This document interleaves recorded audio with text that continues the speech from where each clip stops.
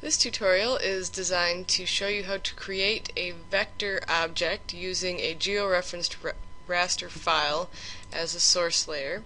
Uh, we'll be using a GIS software called TNT MIPS or MicroImages to do this. And we'll start by um, creating or opening up a spatial data editor session. Close the tip of the day.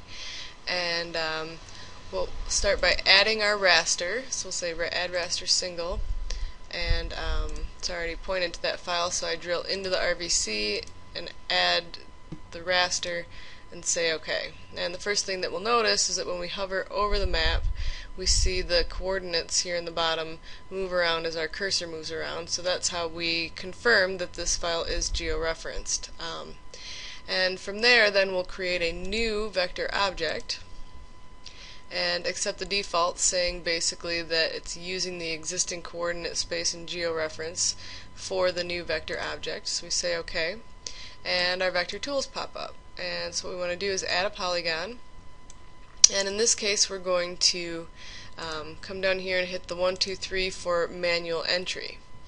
Um, so we'll start, uh, what we're going to do is create a polygon that goes around the map so that we can later use it to clip the map out of the collar or remove the collar or however you want to describe what we're going to do.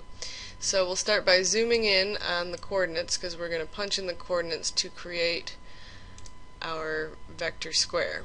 Um, so we'll start with longitude 17, 7 minutes, 30 seconds, and you'll notice that when I hit tab it did not um, keep my entry there and that's because I have to come down here and set your coordinates to um, an entry that it can recognize. So we're going to use the North American NAD27 datum and our coordinate space is going to be entered in degrees, uh, just 2D longitude and latitude. So we'll say OK and then it populates here with our datum and our coordinate system. So um, try this again. West, 117, 7 minutes, 30 seconds, and it holds, so we know we're doing it right. North, 33. And then we'll come down to the next one, and um, what I'm going to do is actually use a trick. I know that it's going to have the same longitude here along this side, so I don't need to actually hover over that uh, that corner.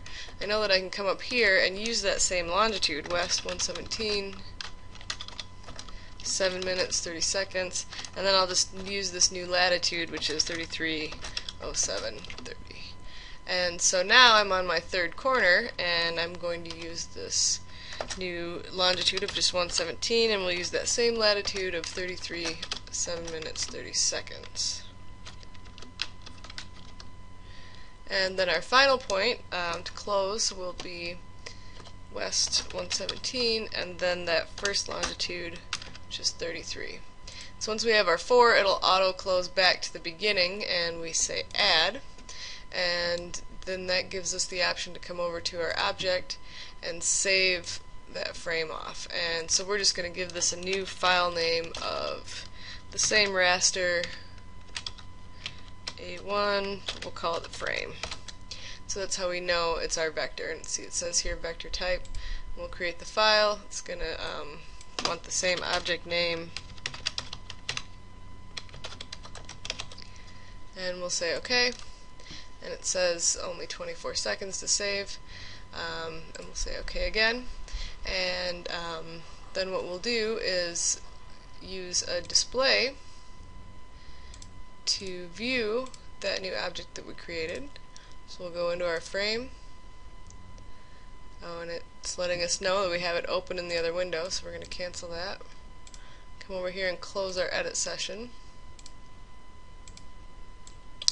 Third time's the charm, close the edit session.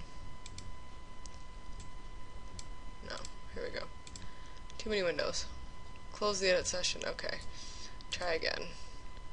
Add the frame, add the vector, say OK, and it gives us this lovely square that we've created. And that's it.